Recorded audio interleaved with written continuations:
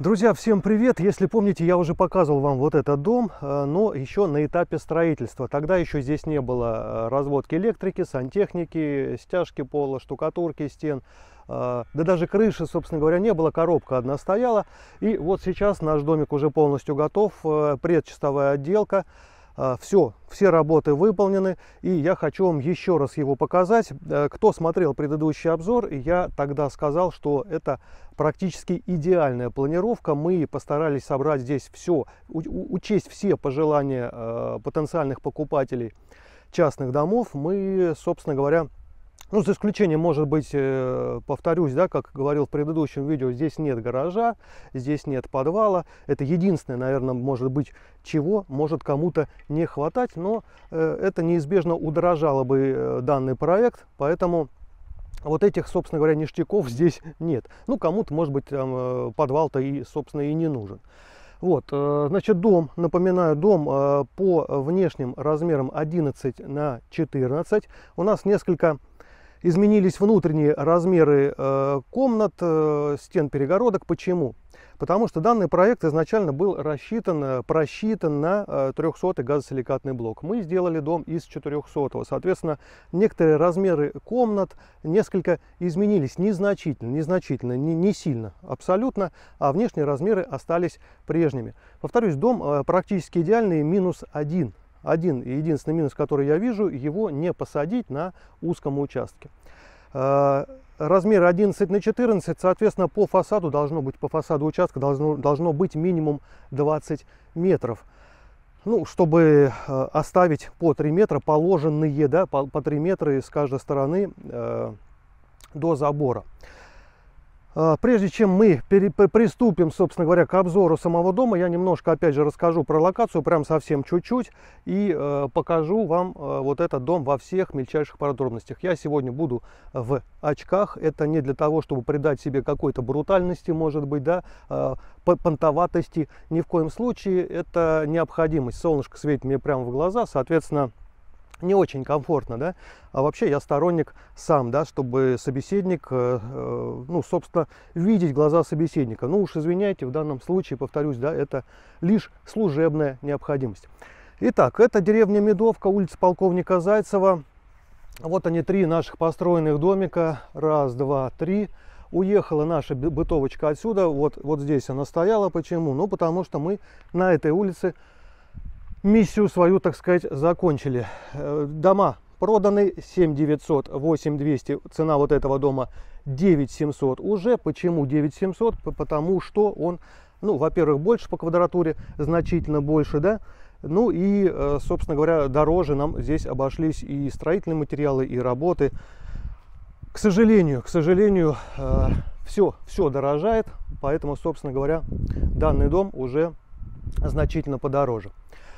Но, но, друзья, э, ровно такой же дом мы начинаем строить на соседней улице. Почему, собственно говоря, я вот этот дом вам и показываю, да, то есть во всех мельчайших подробностях сейчас вам еще раз его покажу, э, потому что через 4 месяца на соседней улице будет ровно такой же дом, ровно на таком же участке 10 соток. Повторюсь, домик хорош, планировочка хороша, здесь есть все, э, ну, практически все, да, то есть здесь достаточное количество мест для хранения, здесь два санузла, один относится к мастер-спальне, здесь отдельная кладовая, э, котельная, прошу прощения, отдельная котельная, э, она же бойлерная, потому что размер позволяет, да, там помимо котла еще другие, собственно говоря, различные вещи производить э, домохозяюшки, да, пожалуйста, можно там и белье даже гладить, да, постирочную, погладочную. Я вам сейчас все в подробностях покажу. Здесь есть ваша любимая терраса, терраса. В общем, все здесь есть, э, даже не знаю, чего здесь нет. Повторюсь, ну, наверное, нет гаража и, наверное, нет подвала. Остальное все мы здесь учли, все ваши пожелания учли, проводил опрос зимой, что бы вы хотели видеть в своем частном доме. И вот на основании, собственно говоря, ответов на э, мой вопрос, вот и появился вот этот замечательный домик. 134 э, квадратных метра с учетом террасы. 134. Те дома у нас по 94. Итак, э, по, э, давайте сначала по конструктиву. Да? Фундамент свайно-ростверковый. Обратите внимание на высоту ростверка. Я все в мельчайших подробностях, опять же, да, каждый этап строительства снимал, показывал есть что показать э, покупателю, да, то есть э, кого, кого интересует, как заливался фундамент, к примеру, да, как э, стены, у, у, укладывался кирпич на стены с газосиликатным блоком, как монтировалась крыша. В общем, все в мельчайших подробностях есть. Свесы, свесы, видите, 80 сантиметров. А, значит, фундамент свайно-ростверковый. Стены, газосиликатный блок 400, как уже сказал выше, и облицовочный кирпич. Кровля, металлочерепица, RAL 7024, серый графит. Выполнены снегодержатели, снегозадержатели по всему периметру дома. Утепление 200 миллиметров. По коммуникациям Газ, электричество, вода. Вода, своя скважина 38 метров. Газ заведен в дом. И переливная сливная яма. Это обязательная опция в наших домах. Всегда делаем ямы 2. Две ямы по два кольца.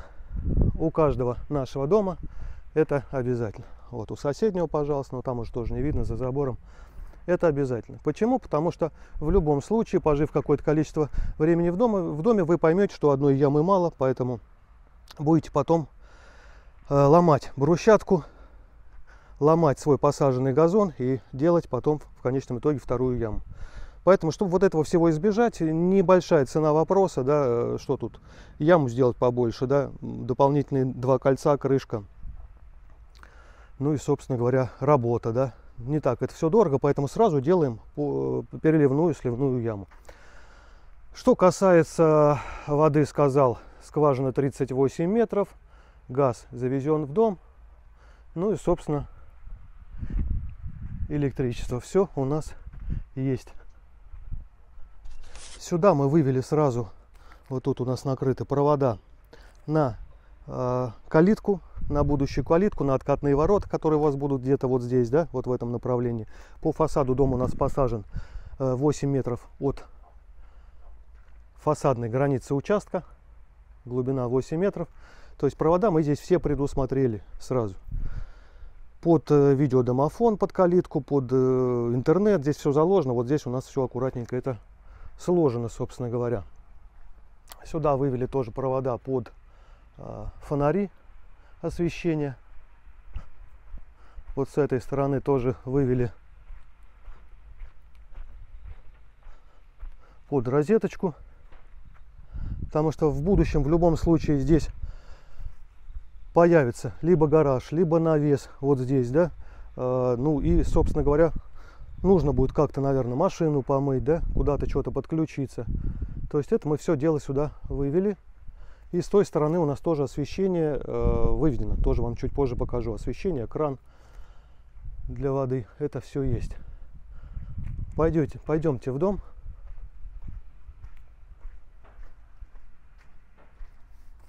Мы только закончили, только закончили стяжку пола. Буквально два дня назад. Окна сейчас раскрывать еще пока сильно как бы нельзя. Коридор Коридор имеет вот такую вот нишу, углубление, куда легко монтируется шкаф, прихожка.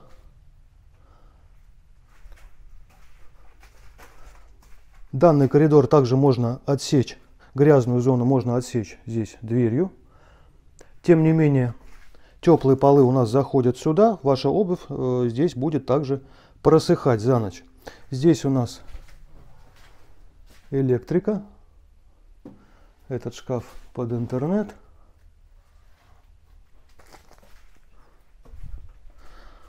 Площадь вот этого помещения 4 квадратных метра.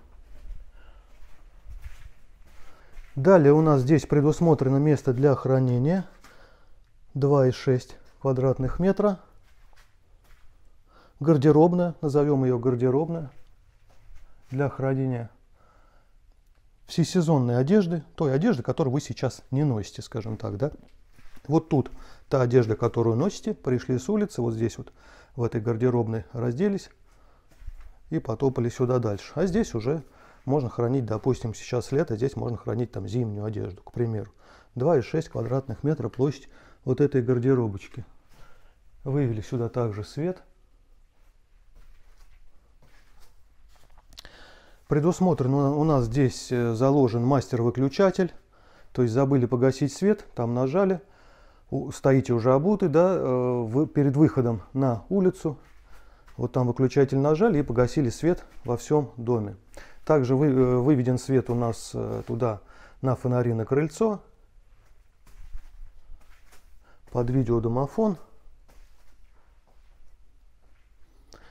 Вот из этого коридора данный дом делится на две зоны. Правая зона это у нас э, ночная зона, назовем ее так. И левая кухня-гостиная это у нас дневная зона. Прямо у нас тех помещений, котельня. Слева направо с вами идем. Площадь кухни-гостиной Вот отсюда сейчас вам покажу, чтобы вы могли оценить размер, собственно. Площадь вот этого помещения 38 квадратных метров. 38. 22 площадь так называемой гостиной. Вот она. Вот она четко отделена. Это гостиная. И 16 квадратов, начиная вот от этой перегородки, это площадь нашей кухни.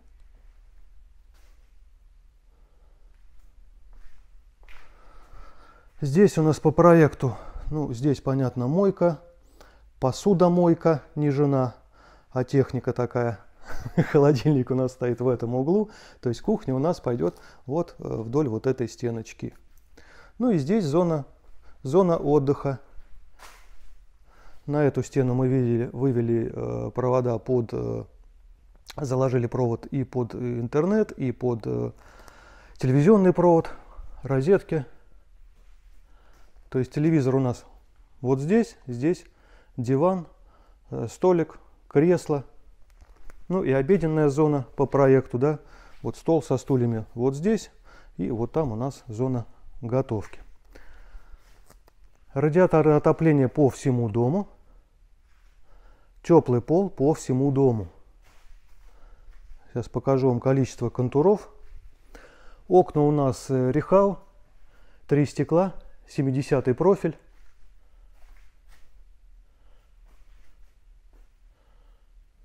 Сейчас их сильно открывать нельзя.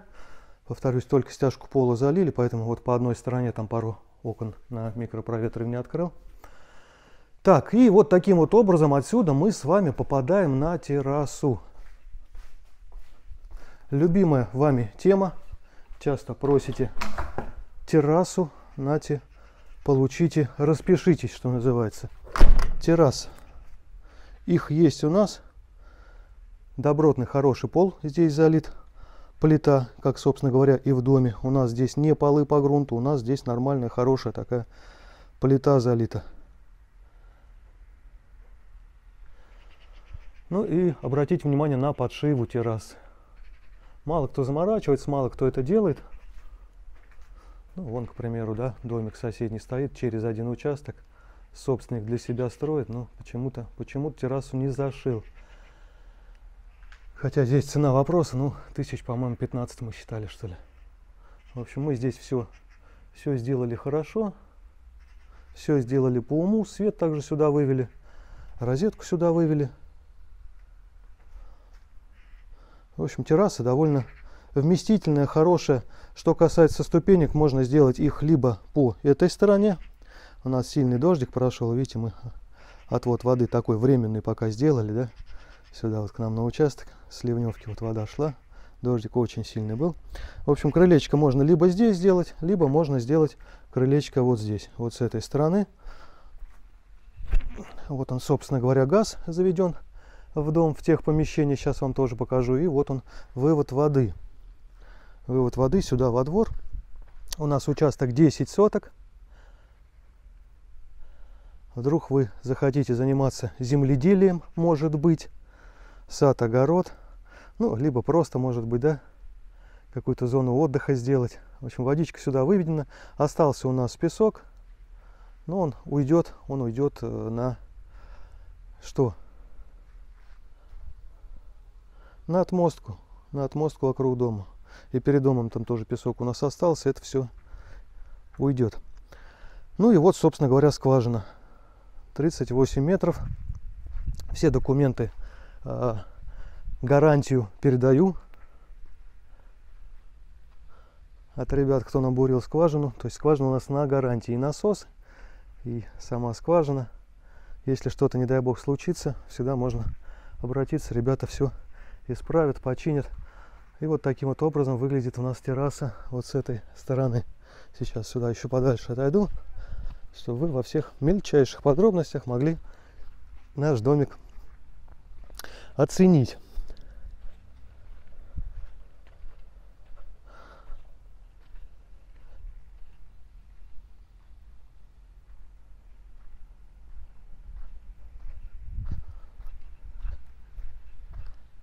Еще раз обращаю ваше внимание на высоту фундамента.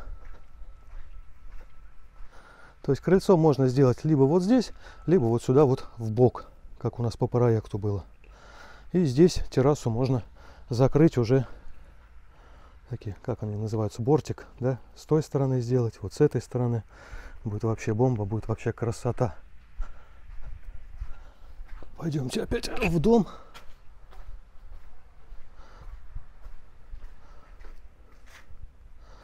В общем, полы у нас здесь серьезные. Да, можно было сэкономить 1150, я тоже просчитывал, смотрел, да, а сколько же стоило бы сделать полы по грунту, но нет. Но нет, не наш вариант. Делаем все хорошо, качественно, на века. Кухня-гостиная. Так, э, значит, здесь в предыдущем обзоре говорил, да, что из этого трехкомнатного дома можно сделать легко четырехкомнатный. То есть вот здесь можно выделить еще одну комнату, и это никак, никоим образом не помешает вот, этой, вот этому помещению кухни, которое у нас 16 квадратных метров. То есть никаких проблем, нужна вам четвертая комната, не в ущерб, скажем так, кухне, да, можно эту четвертую комнату сделать. Здесь 16 квадратов остается, но здесь что-то вы срежете, да, коридорчиком, когда будете стеночку ставить. Но в любом случае там тоже, ну, квадратов, наверное, 16, я думаю, тоже в любом случае останется. Далее у нас техническое помещение, вот о чем я вам говорил выше. Котел. Котел двухконтурный.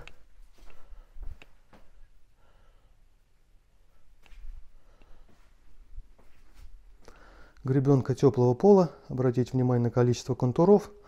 И вот здесь, вот сюда мы вывели, изначально по проекту у нас стиралка стоит в санузле, в, в общем санузле. Вот, но э, мы вывели, вывели ее сюда. Посчитали, что это правильно на самом деле, да. Э, пусть санузел будет санузлом, а здесь места достаточно, помещение достаточно большое. Как бы использовать чисто под котельную, да, под тех помещений, ну, наверное, слишком жирно, как бы, да. Вот, соответственно, мы э, решили стиралочку вынести сюда, и здесь хозяюшка поставит э, гладильную доску, либо откидную, может быть, сделает вот с этой стены, сейчас модно, да. И, пожалуйста, здесь стиралка, корзина для белья. Все мы сюда, собственно говоря, с санузла вывели. Подводку. Поэтому, пожалуйста, стиралочка будет стоять здесь. Техпомещение, оно же, оно же бойлерное, гладильное, как хотите, назовите. Потому что площадь вот этого помещения у нас по проекту 8,2 квадратных метра. 8,2. Конечно, использовать чисто под котельную, ну, наверное, неосмотрительно будет. Неправильно будет. Поэтому, собственно говоря, можно здесь еще и некую постирочную организовать. Ну и все. Закончилась у нас э, дневная зона, и мы переходим с вами в ночную зону, так скажем, да? Три комнаты и два санузла. Вот этот у нас санузел по площади 5 и 2. Прямо раковина. Справа ванная во всю стену, вдоль вот этой всей стены.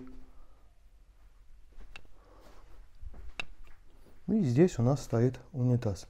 Изначально по проекту стиральная машинка у нас была вот здесь. В принципе, тоже места было достаточно, но все-таки решили ванну, ванную комнату оставить ванной комнатой, да, а постирочную перенести э, в бойлерную котельную. То есть вот туда мы, собственно говоря, стиралочку и перенесли. 5,2 площадь ванной комнаты.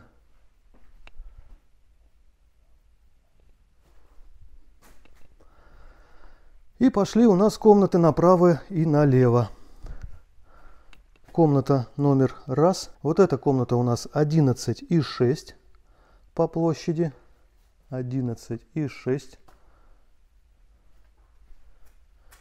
Здесь у нас каким образом э, расставляется мебель? Ну, наверное, стол вот сюда, видите, розетка сделана, стол вот сюда, по проекту у нас так шло, да, кровать вдоль вот той стеночки, и здесь хорошо становится шкаф.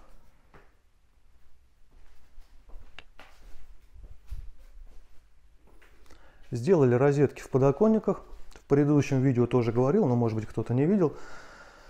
То есть у нас в откосах э, окон, не в подоконниках, прошу прощения, в откосах окон у нас э, сделаны розетки. Для чего? Ну, во-первых, может быть, здесь у нас стоит кровать, может быть, телефон зарядить, положить сюда на подоконник. Либо, пожалуйста, у нас сейчас это очень распространено, скажем так, да, э, зимой вешают гирлянду на окна, и чтобы не было вот этих сплетений проводов, переносок каких-то непонятных, вот, пожалуйста, сюда сразу в эту розетку подключились и красивенькую гирлянду себе повесили. Вся фасадная часть у нас, окна всей фасадной части у нас имеют такую возможность, да, то есть у нас в откосах сделаны розетки. То есть на фасад туда можно на все окна гирлянды сделать. Без каких-либо проблем, что называется. Так, вот эта комната у нас 11 и 9. 11 и 9. Здесь расположение мебели несколько другое, да, зеркальное. Стол вот в эту сторону, видите, розетка. И вот в эту сторону у нас уже, собственно, идет, э, что идет? Кровать. Вот здесь у нас стоит кровать. Вот здесь выполнена ниша под шкаф. Это детские комнаты. Эта комната чуть-чуть побольше, 11,9.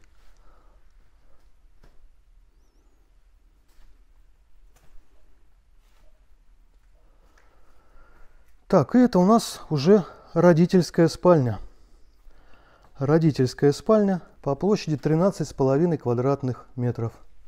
Родительская спальня. Здесь на стену, понятно, телевизор. Кровать становится вот сюда. Стандартную кровать мы учитывали. И с двух сторон, собственно, ставили тумбочки. Визуально, да, рисовали тумбочки. Вот под них сделаны, собственно, розетки. Это у нас еще одно место для хранения. Я думаю, хозяюшки оценят. По-моему, квадрата полтора она у нас идет. Сейчас более точно посмотрю по планировке. Да, да, полтора квадрата площадь вот этого помещения. Тоже сюда свет вывели. Хозяюшка оценит. Ну и изюминка, изюминка нашего дома – дом у нас, напоминаю, с мастер-спальней, планировка с мастер-спальней. Вот она, собственно говоря, и мастер-спальня, да, родительская спальня. Там дальше прямо это санузел, но санузел расположен не, с, э, не, не рядом сразу с кроватью. Наверное, не очень, да, как бы эстетично. Сначала, чтобы попасть в санузел, вы проходите через вот такую вот гардеробочку. С двух сторон здесь делаются шкафы, с этой стороны, с этой стороны. По площади 3,5 квадратных метра гардеробочка. И такой же размер у нас нашего санузла. Здесь у нас что? Здесь у нас душевая кабина, здесь у нас унитаз, здесь у нас раковина. Унитаз, раковина и душевая кабина.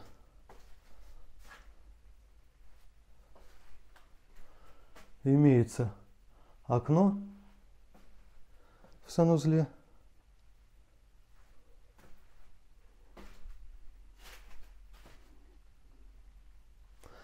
На мой взгляд, это очень э, удобно, очень правильно, что санузел, вот этот санузел, который относится к вот той спальне, он находится на таком все-таки некотором отдалении, да, чтобы сюда попасть, нужно пройти сначала через гардеробную. Ну и гардеробная, опять же, да, это, это дополнительные места хранения, коих здесь, в принципе, в доме достаточно. Дом должен быть домом. Это не должна быть квартира на земле. Соответственно, мы здесь этих мест хранения дополнительных с избытком сделали. Здесь должно всего всем хватить. Ну что, друзья, вот такой вот дом. Жарковато. Пойдемте выйдем с вами на улицу. Жарковато почему? Потому что пока окна не могу еще открыть. Пока окна открыть еще, открывать еще нельзя. Значит, ровно такой же дом, ровно такой же дом, как сказал выше, мы начинаем на соседней улице. Срок строительства 4 месяца. Через 4 месяца такой же дом будет построен на э, аналогичном участке 10 соток. Единственное, что изначально, да, сразу могу сказать, да, что он будет дороже. Почему? Потому что э, тот участок мне достался уже дороже, я уже дороже его покупал, чем вот эти участки. Соответственно, э, кирпич там будет подороже.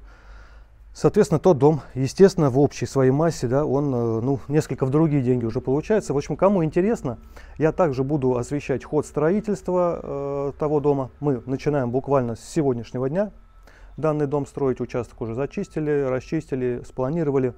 И сегодня начинаем уже заниматься фундаментом. Соответственно, кому интересно, следите, смотрите. Э, дом можно будет забронировать, дом можно будет забронировать до конца строительства 300 тысяч рублей. Вносите бронь, я за свой счет дом достраиваю. Ну и, собственно говоря, э, потом э, через 4 месяца выходим на сделку, да, проводим основную, основной этап да, сделки. Пожалуйста, можно под сельскую ипотеку, пожалуйста, можно за наличные. За наличные, естественно, цена будет другая, да, там цену можно будет скорректировать в сторону уменьшения. В общем, кому, кому интересно, пожалуйста, обращайтесь, да, мои контакты вот. Планируете переезд в Воронеж? Воспользуйтесь услугами нашей компании. Покупать недвижимость с нами выгодно и безопасно. Заполняйте анкету-заявку под этим видео.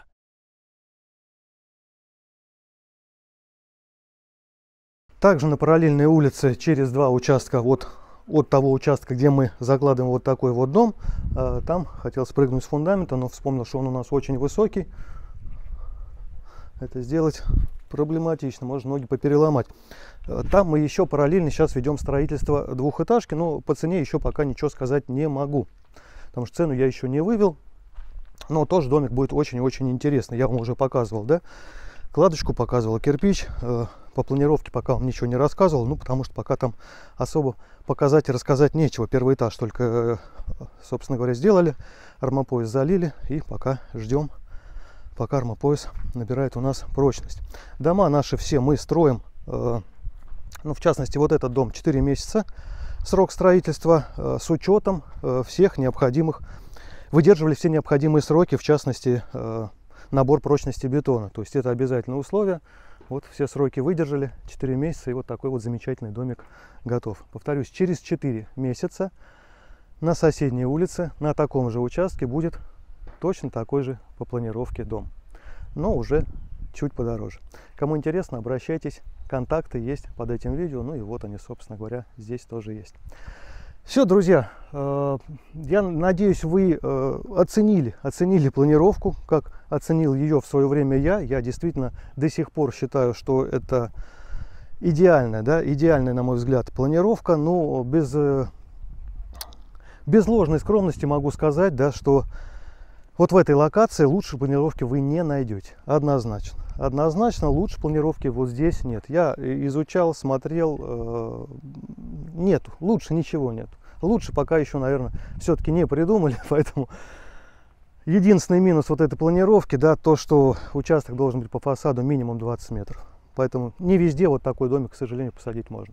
Все, друзья, всем хорошего дня, хорошего настроения. Подписывайтесь на наш канал, следите за нашим строительством. Ну и кого данный домик заинтересовал, пишите, звоните. Повторюсь, на соседней улице 4 э, месяца и данный э, аналогичный проект будет у нас уже построен. Также на участке 10 соток. Все, друзья, пока.